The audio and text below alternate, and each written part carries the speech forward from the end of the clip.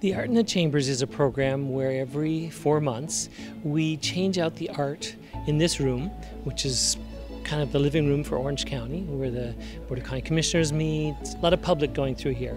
And this is our 46th exhibition since 2003 when we started doing this bringing in art from prominent local collections like museums or collectors or corporate collections, or artwork by artists who've lived or worked in Orange County and have a national reputation. So it's just kind of a place to show off the art of our community. This collection tonight is uh, very diverse. It's diverse in the artists, it's diverse in the media that's used, and it's diverse in the subject.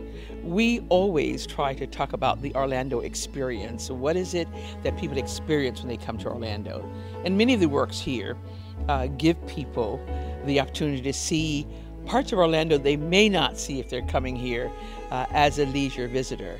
So we're very pleased with the collection. It includes Florida artists, it includes national artists, all who have contributed in creating an experience that hopefully gives a lasting memory of being here.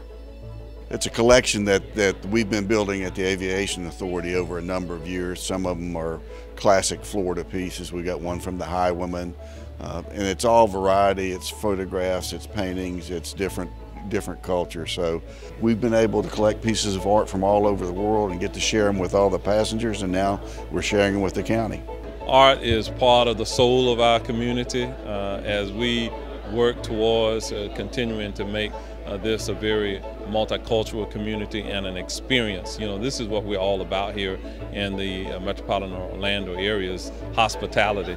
And so it's part of making us a very vibrant, thriving community.